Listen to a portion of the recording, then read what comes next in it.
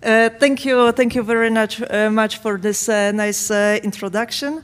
And uh, well, uh, I wanted to. Why this is not working? Okay. I wanted to give, um, let's say, this this talk because I noticed that federated learning is a very booming topic and uh, there it raises many questions, many answers. But then there is a question, are we putting our uh, time to good use?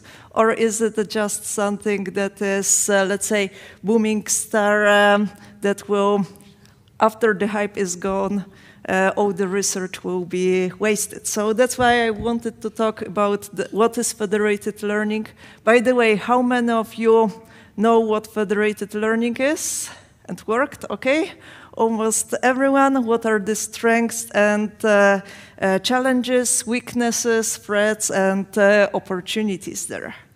And uh, well, federated learning is coming from the uh, paradigm shift. Uh, well, in the standard setting of machine learning, uh, we consider a centralized uh, data set uh, that is uh, and those data are uh, processed in a uh, integrated system, so we are learning patterns from one set of the data.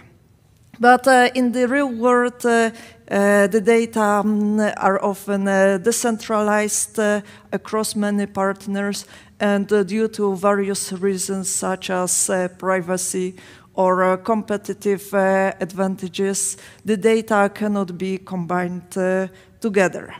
Uh, and then uh, uh, people were thinking, okay, how can we bring not data together, but how can we bring model to data, use all the data that we have may have access to, share the knowledge, uh, and uh, and so on.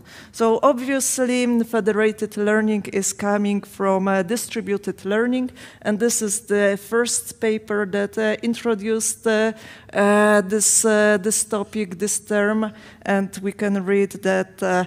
well, they advocate an alternative that leaves the training data distributed on the mobile devices and learned a shared model by aggregating, uh, aggregating uh, locally computed updates. And then the, they name uh, this uh, decentralized uh, approach federated learning.